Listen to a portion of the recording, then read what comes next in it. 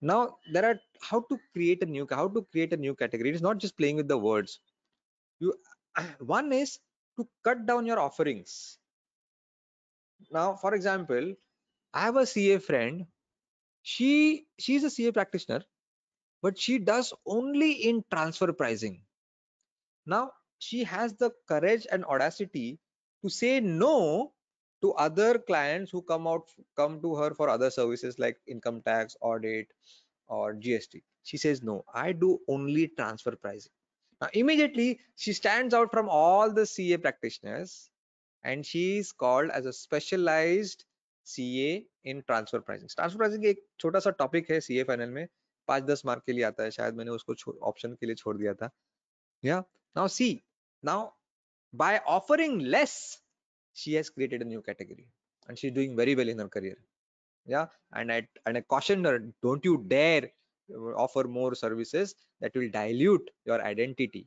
Yeah now she's she's not in that identity crisis. She people are clear whoever thinks about has a problem with transfer pricing in the world he or she will approach my friend. Because she is not just a ca practitioner now she's a transfer pricing specialist now, for another more uh, uh, relevant example, those who were not CAs, they won't come to know this example. Uh, which is the best burger in the world? You'll immediately say McDonald's. That may not be the case, but just because you know McDonald's sells only burgers, quickly you said McDonald's. Whenever we talk about burgers, we only talk about McDonald's.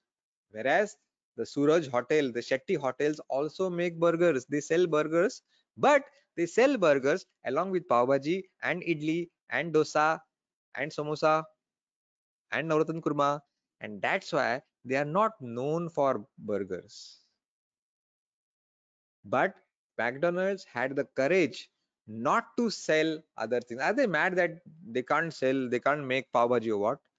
But we do we do you have the daring to go to mcdonald's and ask for pav bhaji तो दिमाग में आएगा ही नहीं ना because identity is very clear they have narrowed down their offerings to such a small level that it, it itself has become a new category called burger seller now they are not in the category of restaurants like other shetty hotels they have created a new category called burger sellers are you getting my point hmm?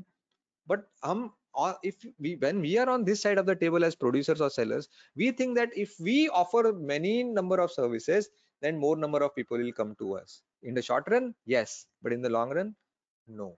Because people will not identify you